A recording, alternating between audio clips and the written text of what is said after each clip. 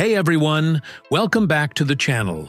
In this tutorial, we'll explore how to properly connect a three-phase brushless motor to Solo using incremental encoders.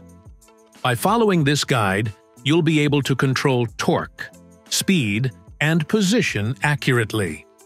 We'll break this down into two key phases, wiring the encoder to Solo and then connecting the motor wires. Let's get started.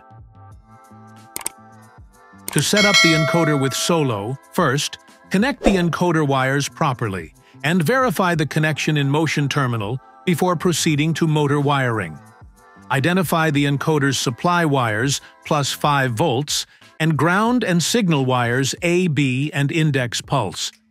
The index pulse must be connected for three-phase motors like BLDC and PMSM. However, it is not necessary for brushed DC motors while A and B need verification.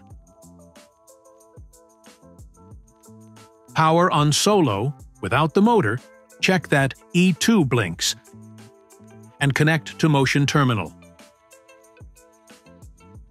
Set the encoder lines, for example, 1000 physical lines. Ensure the correct current limit, such as 10 amps, and verify the number of poles, 8 in this case. Set the feedback control mode to using encoders. Turn on the performance monitor, keep the position active, and disable the other parameters. Turn the motor to one side, the position value should increase or decrease. Turn it to the other side, and the value should change in the opposite direction. If this behavior is observed, then the A and B wires are correctly connected. If this behavior is not observed, check the wiring of A and B.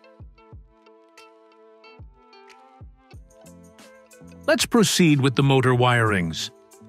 The motor has three wires and Solo has three terminals, allowing six possible wiring combinations. Since we have no prior knowledge of this motor, we will assume the worst-case scenario and test different configurations. Turn off the Solo before connecting the motor wires. First, start with an arbitrary combination. White to A, black to B, red to C. We will test if this combination allows proper motor operation. Turn on Solo Ensure closed-loop settings are correctly configured on the controller. Closed-loop mode is required for encoder identification and calibration. Connect to the motion terminal. Next, we ensure the motor type is correctly set.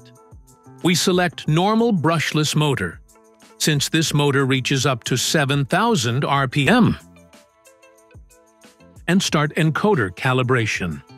The motor rotates counterclockwise briefly and then reverses. Encoder calibration is performed in full torque mode, limited by the current limit set in the motion terminal. Therefore, it is important to set the current limit high enough to allow the motor to spin freely. We recommend setting the current limit to at least 30% of the motor's maximum current during calibration. After stopping, we read the encoder offsets, which may differ in each direction. Once calibration is done, the system enters digital torque mode.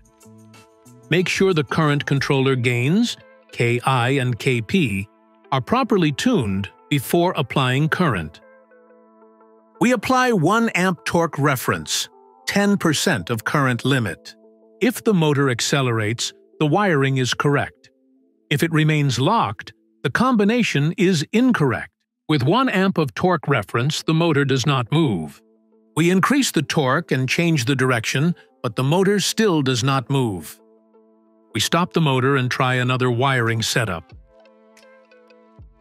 Make sure to turn off the Solo before changing the motor wire connections. We swap only A and C to test a new configuration, while keeping B the same. Turn on Solo. Connect to the motion terminal. Run the encoder calibration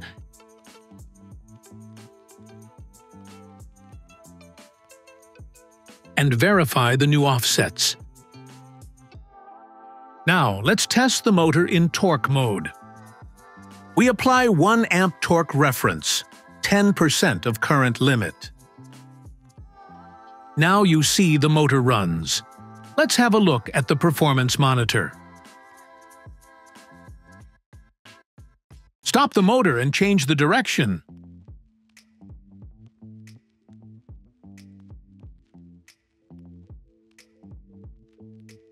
Let's observe the performance monitor.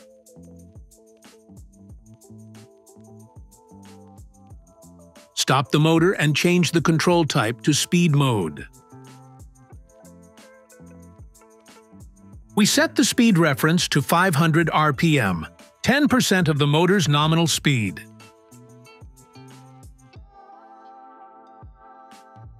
We observe the performance monitor and it follows the speed properly. Now, stop the motor and change the direction.